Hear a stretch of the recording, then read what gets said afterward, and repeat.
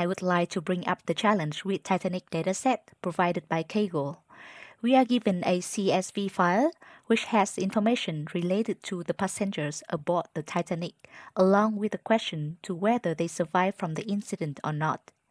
Each of us has to use the data to make a model that can predict the chance of survival for the passengers. Briefly afterwards, I will present SVM, support vector machine, my algorithm of choice, then walk you through my workflow to understand how I configure the nodes. After pulling the CSV reader node in KNIME, this is the view we have from Titanic dataset. The question here is what attribute we want the model to predict. Now we try to find the relationship between the attributes such as sex, age, ticket class, etc. and the survival column. Passenger ID has nothing to do with the survival rate as it is a unique value for each passenger. We drop this variable. The variable P class means passenger class with the key 1, 2, 3 respectively. Reflect from the survival column by grouping passengers from first class has a higher chance of surviving. The majority of the passengers in the third class did not survive. Therefore, passenger class is an important factor while predicting the survival rate of the passengers. The feature is already numerical, so it can be directly passed to any machine learning model during training. Name has a prefix like Mr., Mrs., Miss and Master, which indicate the relation with age and sex and implies that women and children had a better chance of surviving compared to men because of their saving priority. Age also influences the outcome because of the saving priority, assuming that young adult passengers have the highest probability of dying compared to children and the seniors. Siblings, spouse, and parent children both represent the same thing the family size of the passenger, and from observation, people who were traveling with someone had more chance to survive compared to those who were traveling alone. Then this is a critical factor. Ticket number has nothing to do with survival rate as it does not provide the right information to predict. However, it could also relate to the passenger class, just like fare attribute. We also have variable cabin, which has many missing values, and most passengers who did not survive also did not have a cabin number. So this variable is not much of influence. The last attribute is embarked with three categorical values representing Southampton, Cherbourg, and Queenstown. People who boarded from Cherbourg has a higher chance of survival than the other two, so we also take it into account. As now I understand the challenge and our goal for Titanic case, as well as the dataset and its attribute, I'd like to show you how I analyze, cleanse, and prepare the data by configuring the nodes in KNIME Analytics. This is an overview of my simple workflow. I started with CSV reader node because our input is stored in CSV format. Browse the location of the file, adjust the setting, and then apply. To review, I go to File Table, check the row and the columns to make sure they are fully in place. To get to know the nominal and numeric values, I pull the statistic node. As I want to evaluate all of my attributes, I include all of them in a view and then click on View, Statistic View. Then I could see what age, cabin, and embark are the attributes missing the value. After assessing the value format, I want to convert numbers to string. Here I choose attribute survive because this is what I want to predict. Moreover, I want to group my columns to avoid repetition, which I found relevant to my function and remove the columns that I found not relevant, which are ticket ID and cabin number. Look at the group table now. I have value in survive in the form of string, which is processed to help me predict the result. To clean my set, I decide to filter and enforce inclusions of my selected attributes and pull the node to filter on column with missing value. Now my task is to fill this missing value to complete dataset.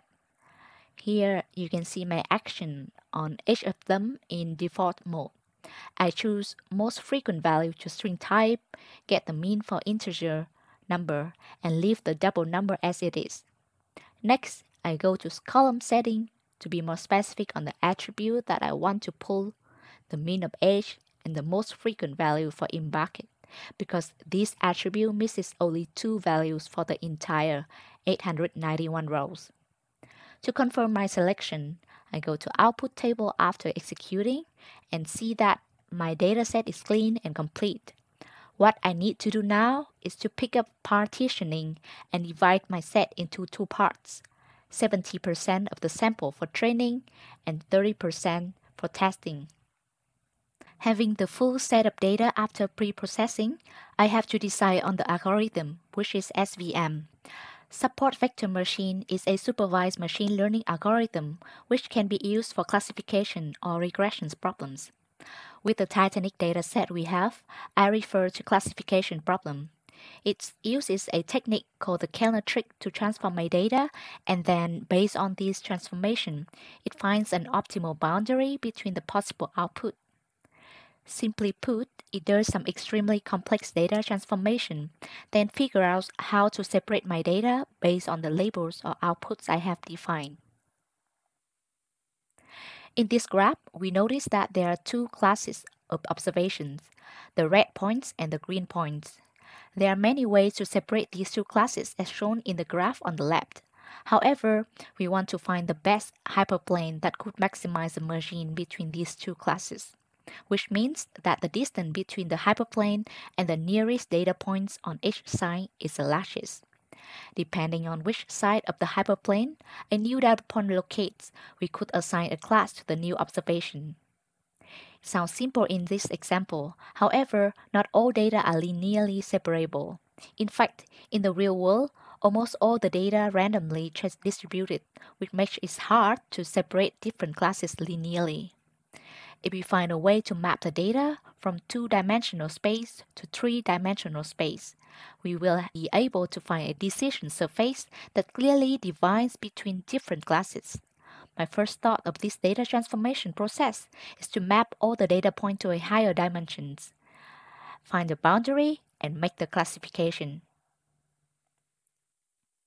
Learning how we classify the data points with a decision surface in two and three dimensions I choose SVM for Titanic dataset because I am looking for an easy to use but powerful supervised model for binary classification to answer my question of survival probability of each passenger.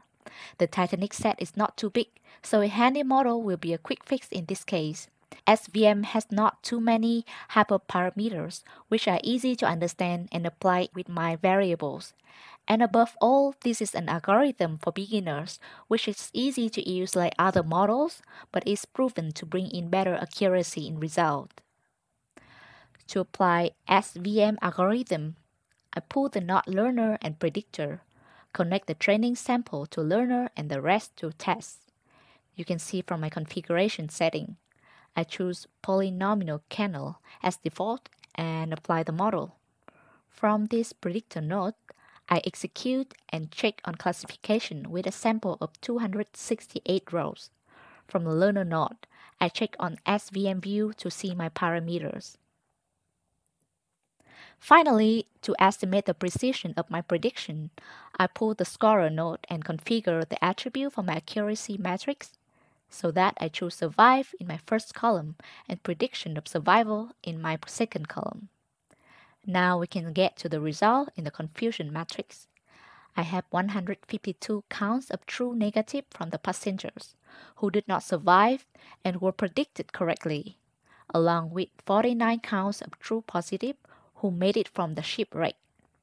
All in all, the accuracy rate from my SVM model is 75%, which is a fairly good score. To improve the accuracy, there are several ways, such as characterize closer relationships among attributes of the data, or when distributing the data in SVM Learner, we can set the parameter near the upper and bound or low, and then tune them to reach best configuration. Of course, the favorable score should be higher than 80, 90%, and approaching 100%. However, with a simple model requiring no coding but only working on selecting the characteristic using the knots, SVM seemed to be a good option.